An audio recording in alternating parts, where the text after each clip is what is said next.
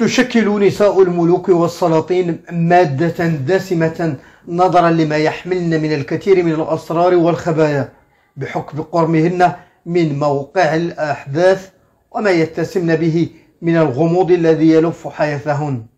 شكلت زوجات الحسن الثاني دائما فضولا ثقافيا ومعرفيا لدى المؤرخين ومادة للبحث وكذلك أسئلة مقلقة عن نمط التعامل بين الملك الحسن الثاني وزوجاته وكيف تم اختيارهن وعلى أي مقاس؟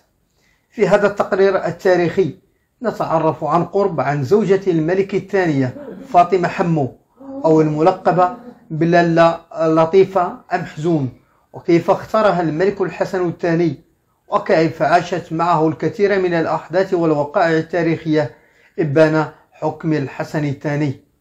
ابقوا معنا دعموا القناة واشتركوا فيها دعما لهذا المحتوى.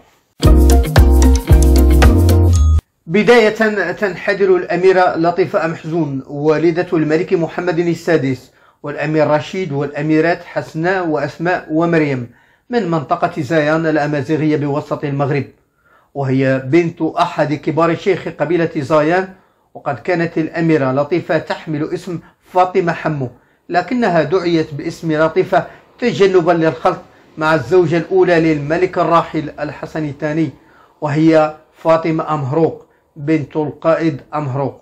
وللأميرة شقيقتان أمينة وحفصة اللتان تعيشان رفقة باقي العائلة أمحزون بمنطقة الأطلس المتوسط وتحديدا بعروس الأطلس مدينة خنيفرة لطيفة أمحزون من مواليد عام 1946 دخلت القصر الملكي في البداية رفقة إحدى بنات عمها كجزء من حريم الملك الراحل الحسن الثاني غير أن الحظ يبتسم لها وسيفتح أبابها أبواب القصر الكبيرة حين استطاعت أن تثير بجاذبيتها شخصيتها القوية الملك فاختارها لتكون زوجة له وأما لأبنائه وتزوج بها عام 1961 برغم أنها لم تكن أجمل من ابنة عمها أو أجمل من باقي نساء الحريم اللواتي كان يغمرن مقصورات القصر الملكي ونذرن أنفسهن للملك الراحل الحسن الثاني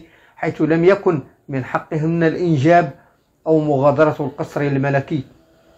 للإشارة أنجبت الأميرة لالا مريم وعمرها 16 عاما كما أنجبت الملكة محمد السادس وعمرها 17 عاما.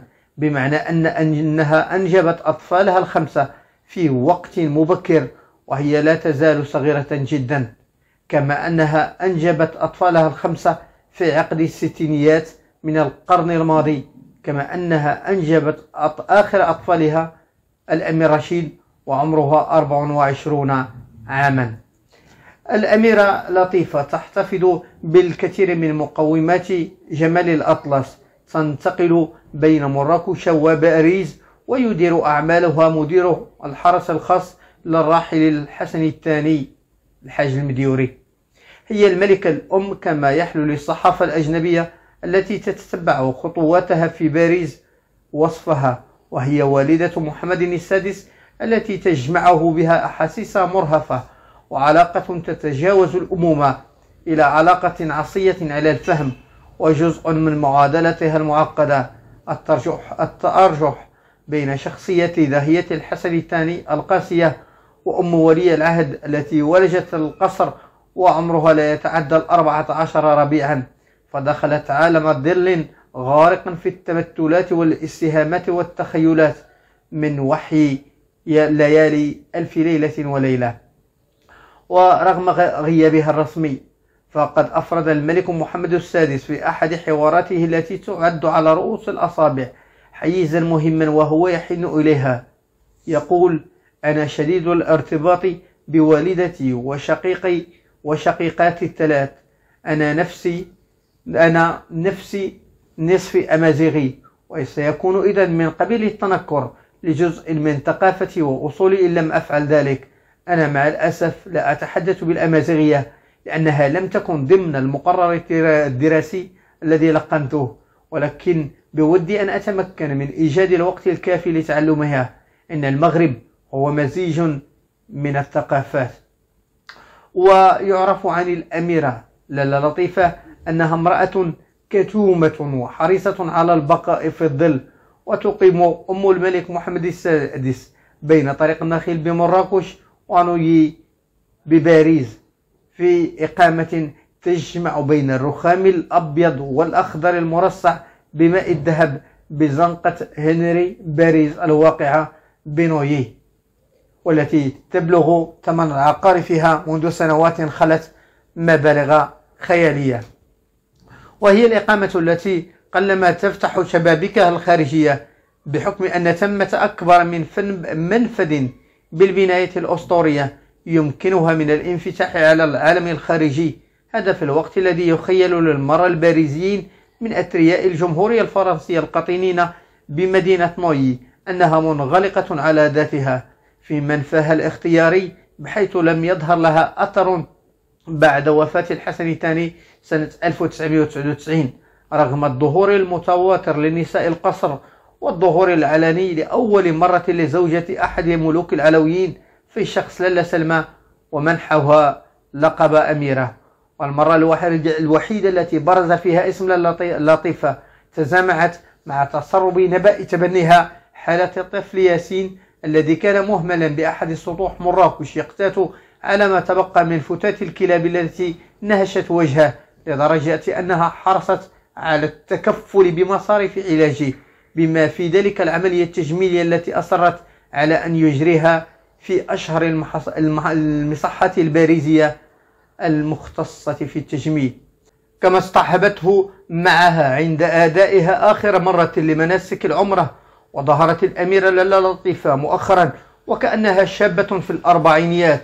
في ردائها الثلجي الذي كثيرا ما ترتديه في جو مراكش الساخن ورفقة محمد المديوري رئيس الحرس السابق للحسن الثاني والأكثر صرامة.